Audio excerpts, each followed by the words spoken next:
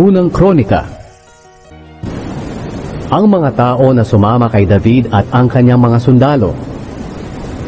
Ikalabindalawang kabanata Ito ang mga tao na pumunta kay David doon sa Ziklag nang siya'y nagtatago kay Saul na anak ni Kish. Kasama sila sa mga tumulong kay David sa labanan. Armado sila ng mga pana at mahuhusay silang pumana at manirador, kanan o kaliwang kamay man. Mga kamag-anak sila ni Saul mula sa lahi ni Benjamin. Pinamumunuan sila ni na Ahiezer at Joash na mga anak ni Shamaa na taga Gibeah. Ito ang mga pangalan nila. Sina Jeziel at Pelet na mga anak ni Azmavet. Sina Beraka at Jehu na mga taga Anatot. Si Ismaya na taga Gibeon na isa sa mga tanyag na sundalo at isa rin sa matatapang na pinuno ng tatlumpung matatapang na tao. Sina Jeremias, Jahaziel, Johanan, at Jozabad na taga Gedera. Sina Eluzai, Jerimot, Bealia, Shemaraya, at Shefataya na taga Haruf. Sina Elkana, Isya, Azarel, Joezer, at Jashobeam na mga angka ni Korah. Sina Joela at Zebadiah na mga anak ni Jeroham na taga Gedor. May mga tao ring mula sa lahi ni Gad ang sumama kay David doon sa matatag na kuta na pinagtataguan niya sa ilang. Matatapang silang sundalo at mahuhusay gumamit ng mga pananggalang at sibat. Kasintapang sila ng mga leon at kasimbilis ng usa sa kabundukan. Si Ezer ang pinuno nila, si Obadiah ang pangalawa, si Eliab ang pangatlo, si Mishmana ang pang-apat, si Jeremias ang panglima, si Atay ang pang-anim, si Eliel ang pangpito, si Johanan ang pangwalo, si Elzabad ang pangsyam, si Jeremias ang pangsampu, at si Makbanay ang panglabing isa. Sila ang lahi ni Gad na mga kumander ng mga sundalo.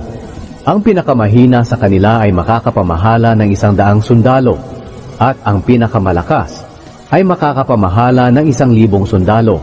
Tinawid nila ang ilog ng hurda ng unang buwan ng taon, ang panahong umaapaw ang tubig nito, at itinaboy nila ang lahat ng nakatira sa mga lambak ng silangan at kanluran ng ilog. May mga tao ring nagmula sa mga lahi ni na Benjamin at Huda na pumunta kay David, doon sa pinagkukutaan niya.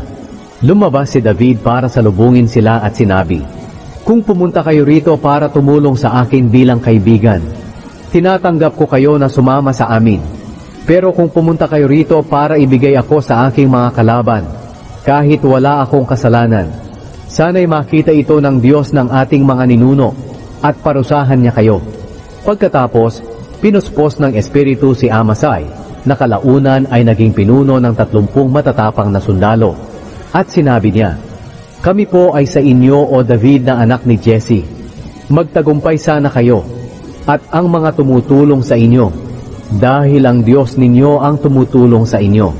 Kaya tinanggap sila ni David at ginawang opisyal ng mga sundalo niya. May mga tao rin na mula sa lahi ni Manase ang sumama kay David nang pumunta siya sa mga Filisteo para makipaglaban kay Saul.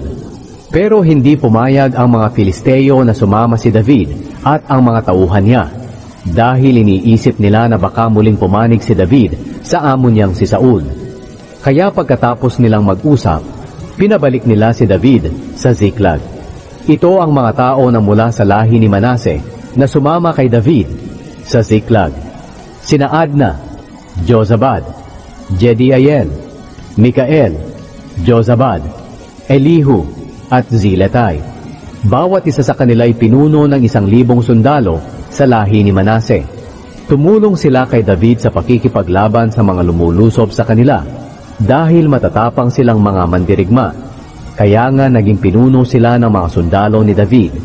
Sa bawat araw, may mga tao na pumupunta kay David para tumulong hanggang sa dumami at naging matibay ang kanyang mga sundalo.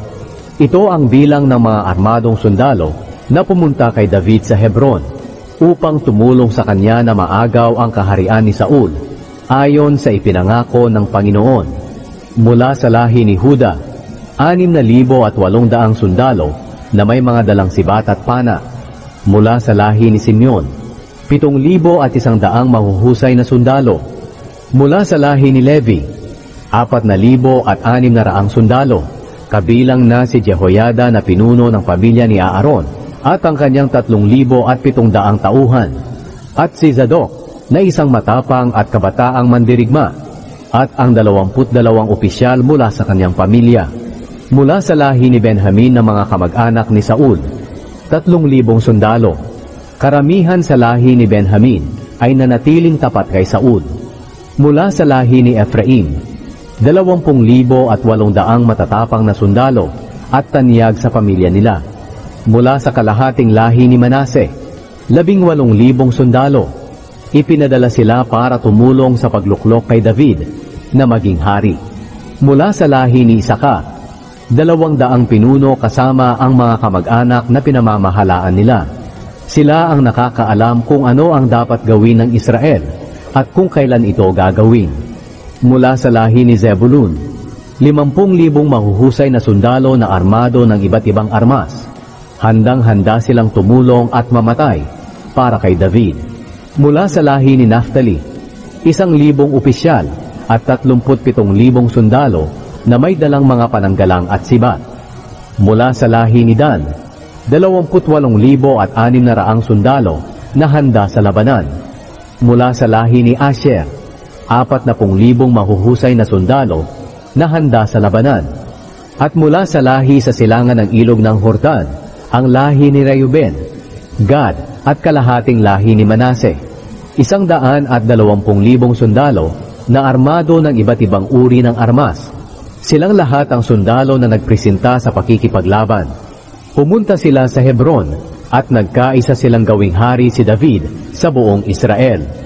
Sa katunayan, halos lahat ng Israelita ay gustong maging hari si David. Nanatili sila roon ng tatlong araw kasama si David na nagsisiksikan at nagiinuman dahil pinadalhan sila ng mga kababayan nila ng pagkain.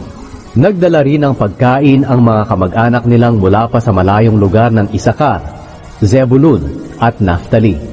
Ikinarga nila ito sa mga asno, kamelyo, mola at baka. Marami ang kanilang harina, igos, mga pinatuyong pasas, katas ng ubas at langis, baka at tupa. Masayang masaya ang lahat sa Israel.